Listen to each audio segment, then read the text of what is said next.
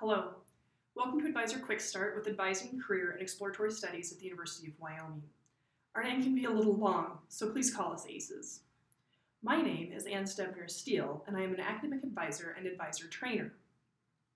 Advisor Quick Start will provide you with a series of online training modules designed for faculty and staff at the University of Wyoming who have an advising role with students.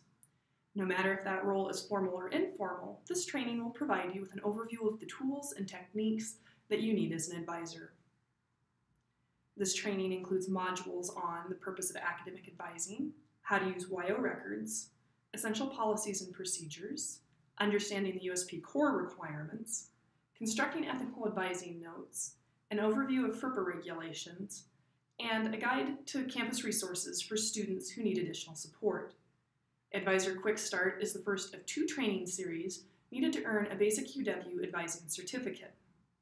In addition to completing these trainings, you will also need to gain six months of advising experience in order to become certified. You will be able to work through these modules at your own pace, so if you're ready, let's get started.